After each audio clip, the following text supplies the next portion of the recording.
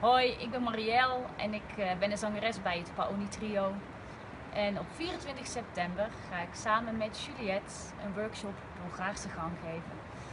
En wie daaraan meedoet, die gaat ook meedoen aan het uh, Resonance evenement in het nieuwe muziekgebouw.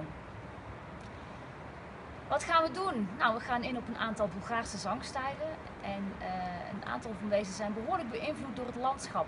Zo is er een regio Perrin met hele hoge bergen en daar zingen ze eigenlijk een beetje puntig.